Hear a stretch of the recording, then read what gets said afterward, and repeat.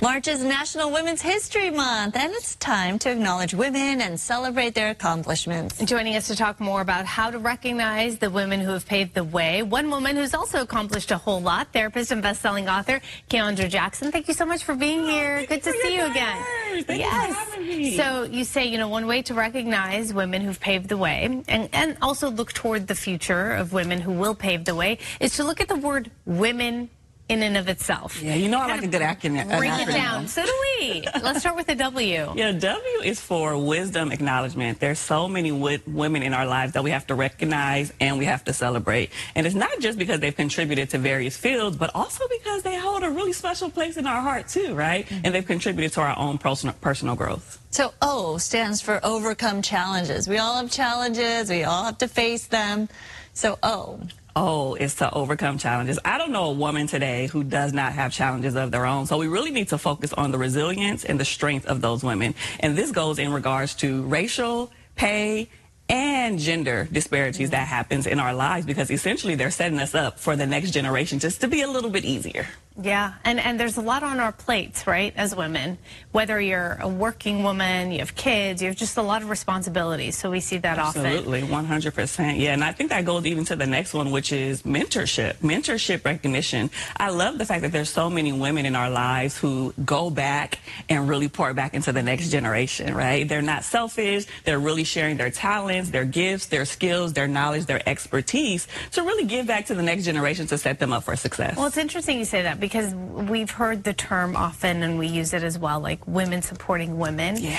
But it, it sounds nice, right? But women really do need to support one another in, in actuality. Absolutely. And really raise each other up and support one another. I think sometimes, depending on the field, some women feel like if you help someone else out, they're going to become your competition, mm -hmm. which is an unfortunate way to look at it.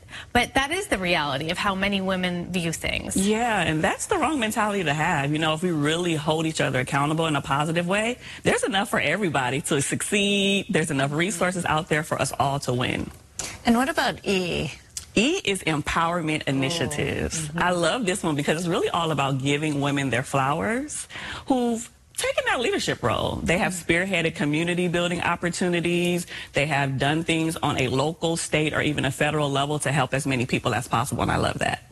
Yeah, it's, it's so important, right, to build each other up instead of tear each other down. Absolutely. We have to do more of that mm-hmm. 100% of the time. And, and lastly? Lastly is N. N is for notable achievements. I absolutely love this one as well, just like the previous one. But it really speaks to the fact that this needs to be a lasting impact, right? So it isn't just about National Women's History Month and doing all of the things for the month of March. Right. But what about doing this every single mm -hmm. day and making sure we acknowledge the women in our lives every day for their efforts and their desires? And that also means our family, our friend groups, our community, and even the people we work with. Okay. So like you guys. So looking back in, in your own life, right? Uh, give me someone who's personally impacted you growing up or even now, and then someone professionally. Ooh, she's putting me on the spot here. I would probably say one, my mom. Um, I don't tell her enough, but I do appreciate her, and she's probably watching right now, so she's tell her right now. Tell her. Thank you so much for watching and supporting me and really just staying on this crazy journey that I have been on yeah. in regards to just my life journey, business, entrepreneurship. It has been a wild ride and I appreciate her for just supporting me.